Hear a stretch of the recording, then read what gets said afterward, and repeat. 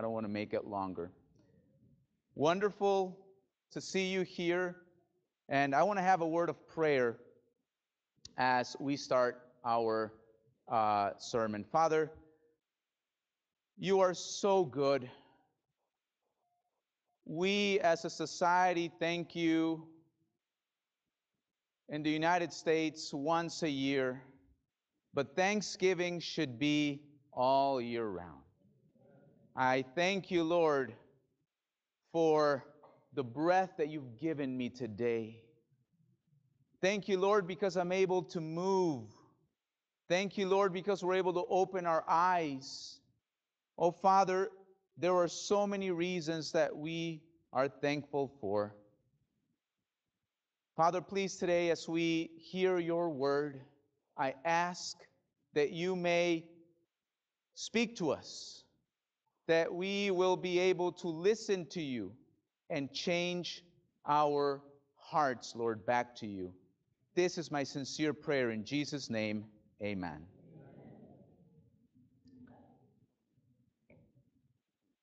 A couple of months ago in the country of Italy, there was a campaign talking about example, about our mission and how many people see our example. And so before we start, I want to play this one minute video that I think says a lot, that trans, uh, transmits a very strong message. So, Drago, can you please play this video?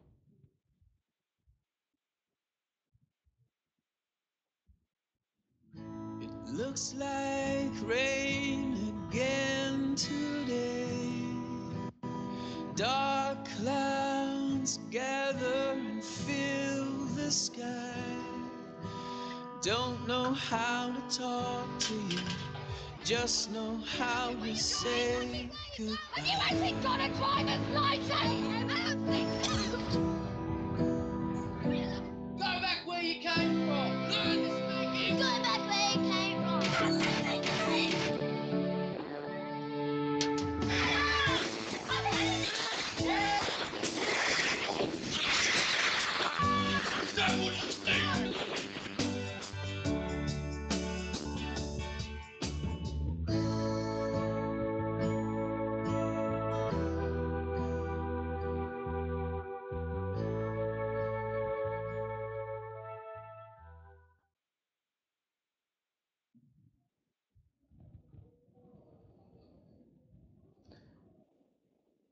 Influence. It is a humbling thought to know that there are many people whose only God they will ever know is the God that we present to them. It is a sobering thought to know that our mission field might not be the Navajos or it might not be Panama, it might not be India,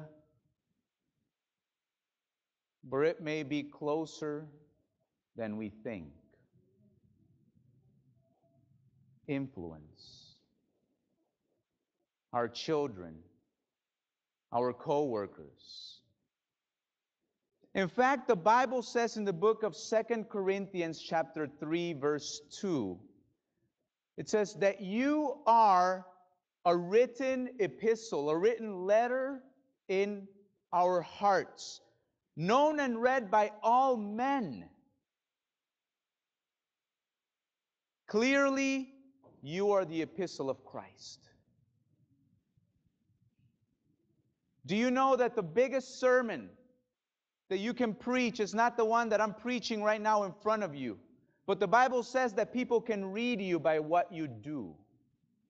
People can read you by what you do. More than by what you say, they will read you by what you do. Our kids read us all the time. They read what we do, the words we say, our actions, our faces. The book of Romans, chapter 2, verse 24 says, For the name of God is blasphemed, it says, among the Gentiles because of you. What a thought. It says that while we are open letters and people can read our good things, the things that we do that are good, some people blaspheme God because of our actions, because of what we do, not necessarily what we say, but our lives. Boom! Thunder. You remember two weeks ago, we found ourselves at the foot of the mountain with the great prophet Elijah, who wanted to see a sign of God in miraculous acts. But he didn't get the thunder that he wanted, he got a silent voice. But this time we sit and we stand at the edge of the mountain again. But this time we're not going to find silence. In fact, we're going to find thunder and lightning. We're going to see and we look up to the mountain and it's like a volcano and it is erupting. Fire. And a voice speaks like a trumpet. And every time you hear this voice, it starts to quake. And it says, Thou shalt not have other gods before me. Thou shalt not make any graven images. Thou shalt not pronounce or misuse the name of the Lord your God. Remember the Sabbath day to keep it holy. Honor your father and mother. Thou shalt not kill. Thou shalt not commit adultery. Thou shalt not steal. Thou shalt not bear false witness. And thou shalt not covet. The 10 words of God, and every time he says these words like a trumpet, everything begins to quake. You know, when I was small, I was able to comprehend all of the Ten Commandments. All of them. The fourth one talks about the Sabbath. The second one, not make graven images. But the one that I always had a hard time understanding was the third one. You're going to say the third one. Yes, thou shalt not take the name of the Lord your God in vain, for the Lord will not hold guiltless he who takes his name in vain. You know, I have heard this preached many times and in Bible studies, and I have even even made this this expl- uh, given this explanation that whenever you trip on the carpet, whenever you're walking by and you hit your elbow on something, you say, "Oh my God." And they always tell me, well, if you do that, you're breaking the third commandment. And I'm thinking, oh boy, man, I've broken that so many times. You know, in Spanish, we have a saying called Dios mío. And we kind of say it whenever we really want to emphasize something. We say, Dios mío. And in other languages, you also have this kind of calling God's name. And I always felt really bad. And I'm like, boy, you know, okay, if that's breaking the third commandment, then, you know, I've, I've done it a lot of times. But really, I mean, is, is, is it all, is that it? You know, just saying, oh my God, or oh my, is that it?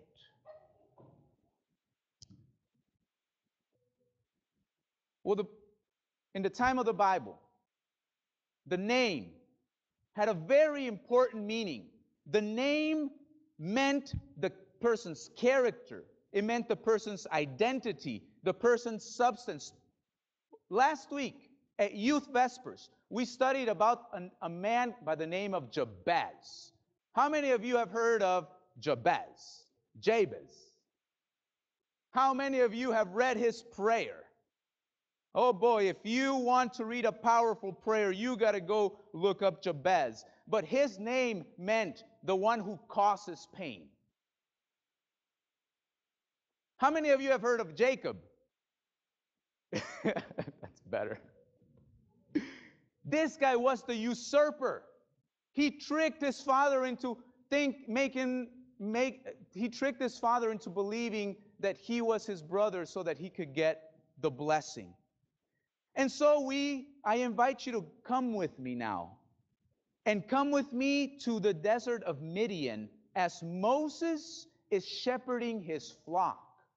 And all of a sudden, he's hit, he gets this sight of a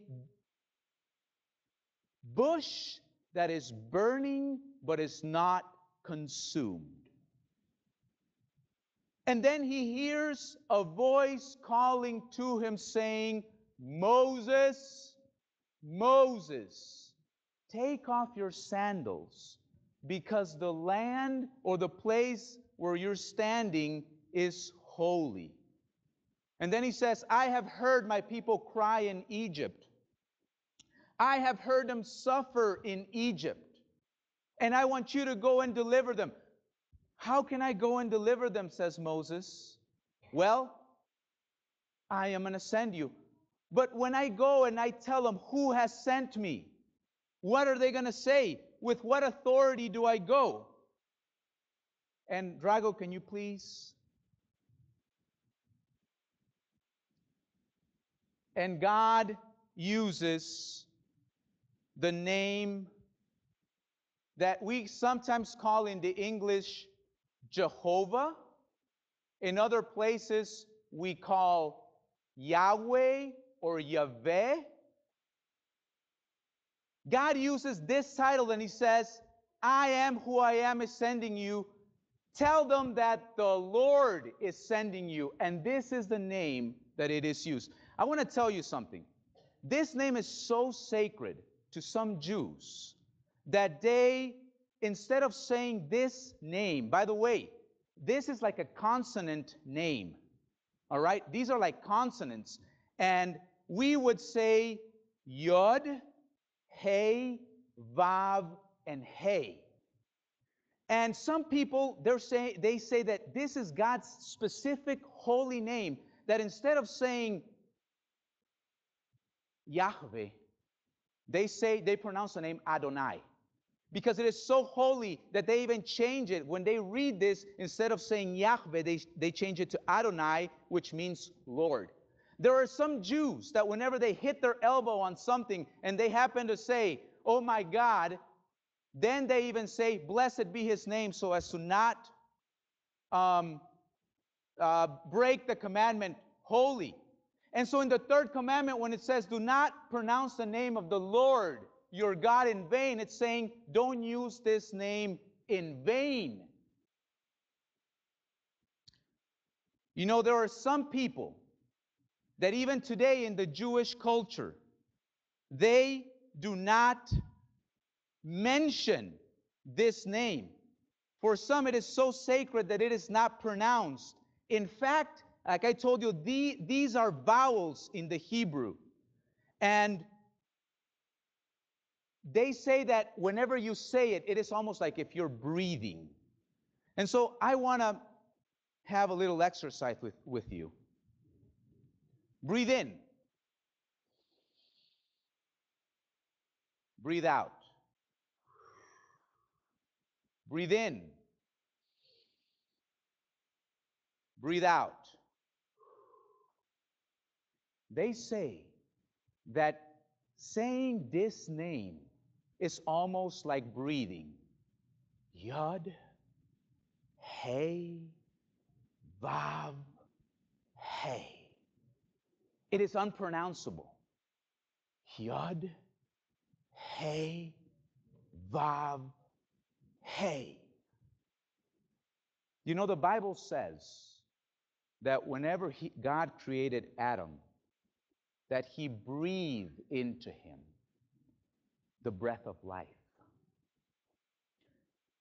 Could it be that, and I believe, and I believe this, that in all of us, whether we want it or not, whether we accept it or not, all of us are sustained by the breath of God. You know, there is a Hebrew tradition that says that every breath a human takes testifies of our Creator. Let me tell you something. When a baby first is born, and when they open up that womb and he comes out, what's the first thing he does? He! Ah! Whenever he does that, he is te- we hear a crying, but the Hebrew will tell you that he is testifying. Yod, hey, bah. It is like the sound of breathing. When a person dies and they breathe their last breath, whenever you can no longer pronounce the name of God in breath, you stop living. Nowadays, men deny the existence of God. God is dead. God doesn't exist. I am. My brain is the measure of God. Little do they know that it is the God they are denying in their words who is giving them the breath of life to say the foolishness that they are saying. Yod, Hey, Ba, Hey.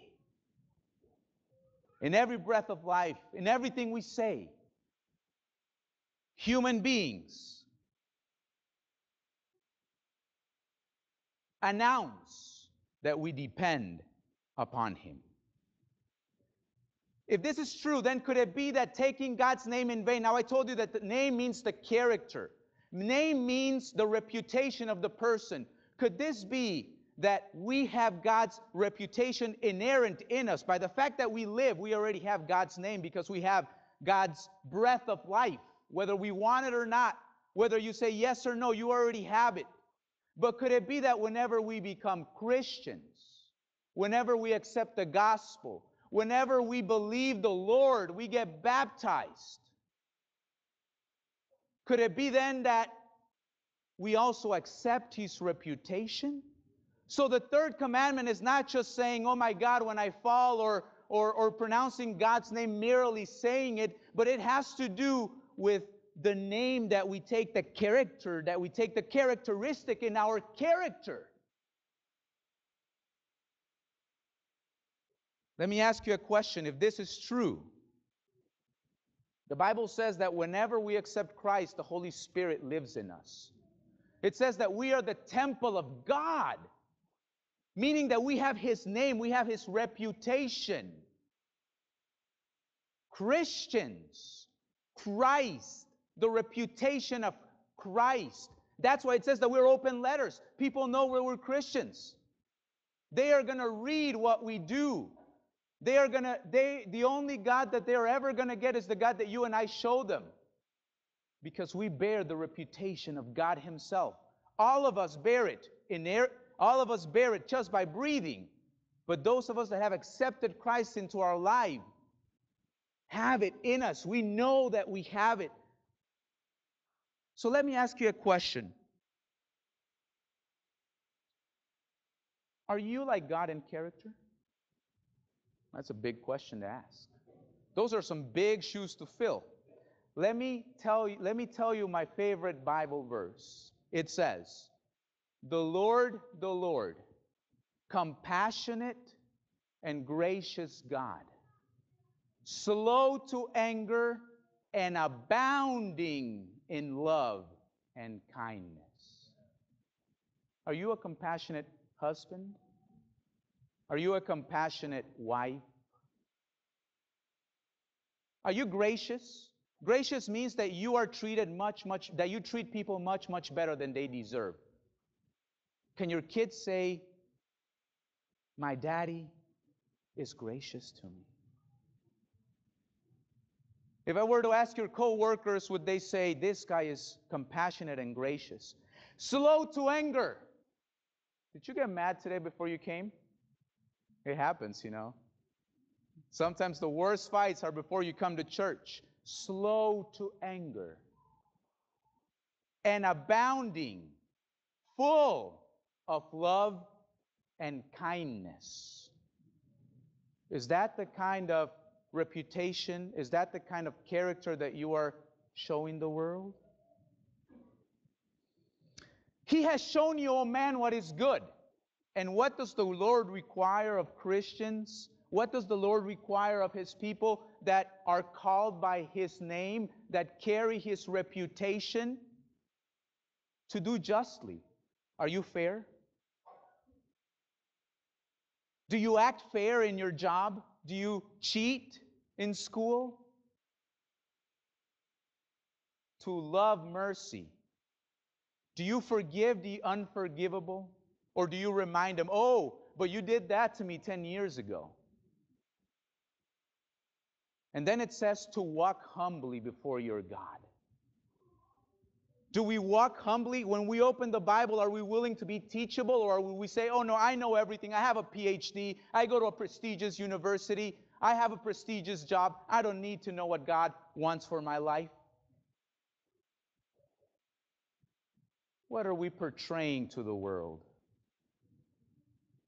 Let this mind be in you, which was in Christ, who being in the likeness of God did not consider it robbery to be equal with God, but to make, but made himself of no reputation, taking the form of a bondservant. Do you serve others? Can people in your job say, man, the one thing I remember about him is that he served, a man of service. Children, youth, can your parents say, My children are obedient, and every time I ask them for a favor, they always obey me? You thought I was just talking to parents, huh?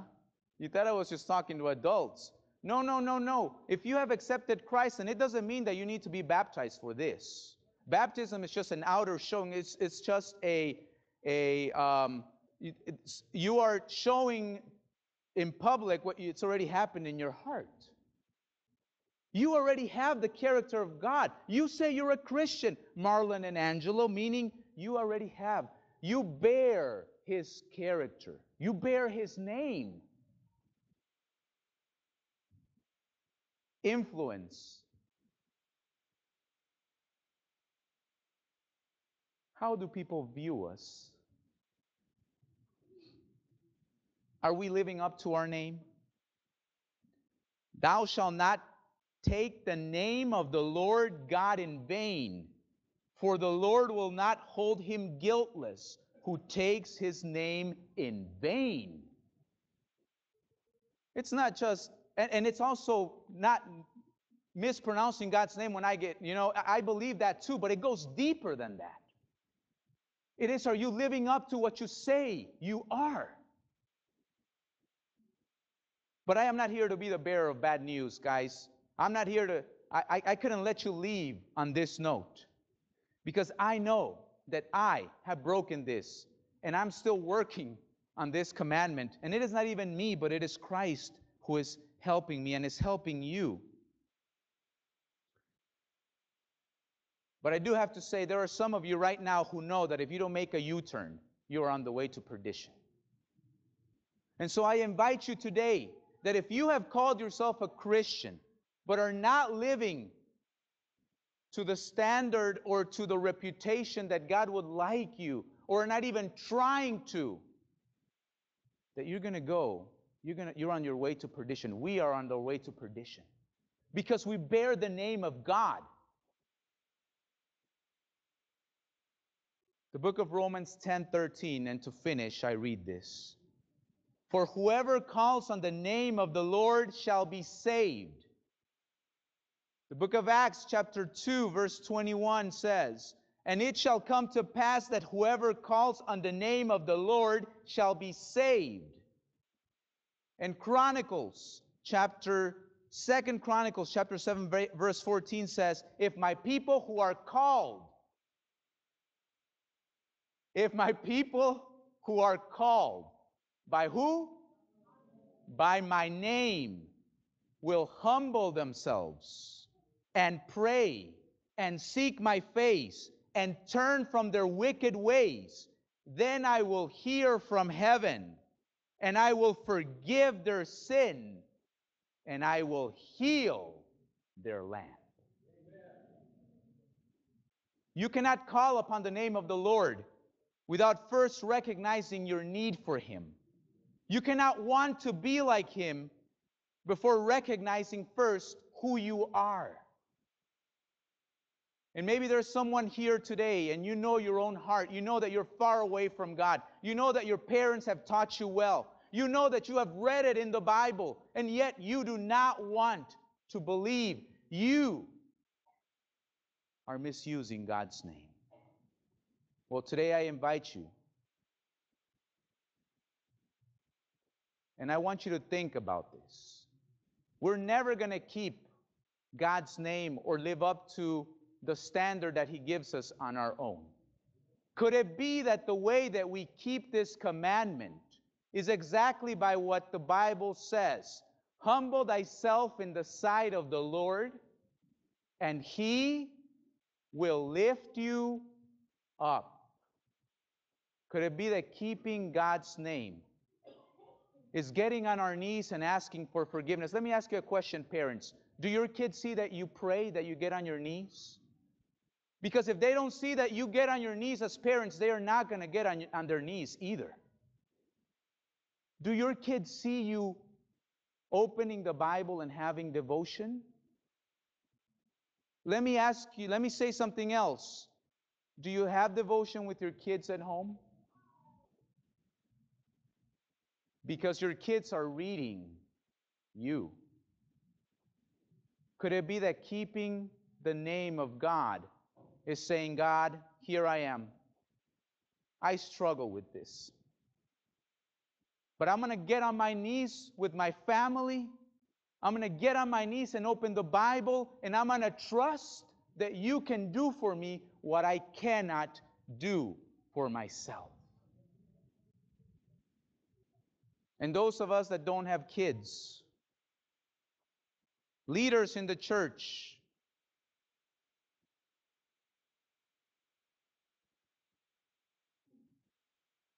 What are church members seeing from us?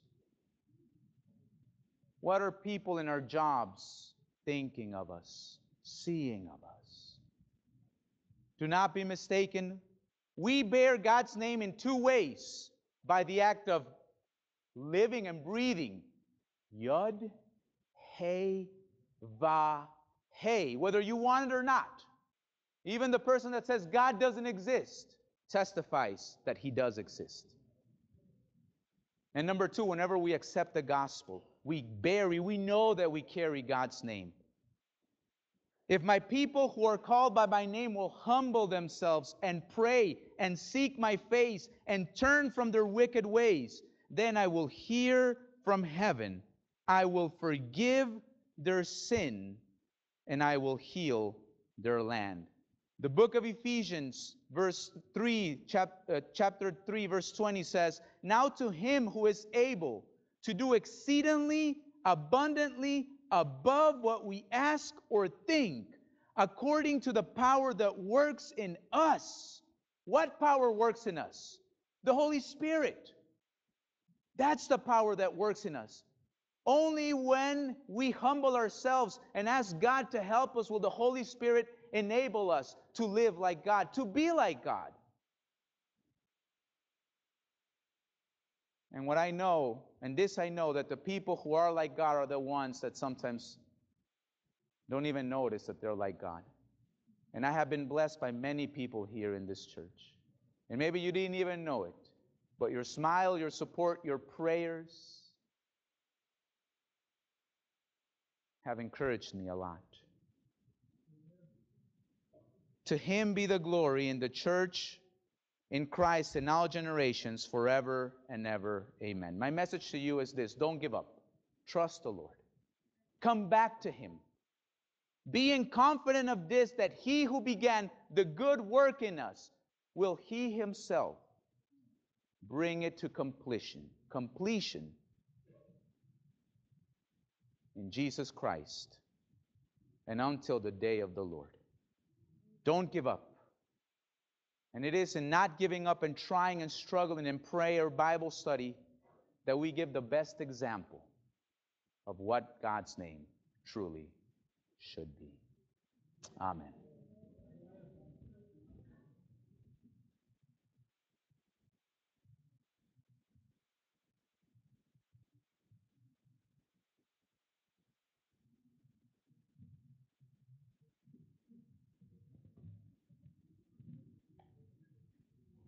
I invite the congregation to stand and we're going to sing our closing song.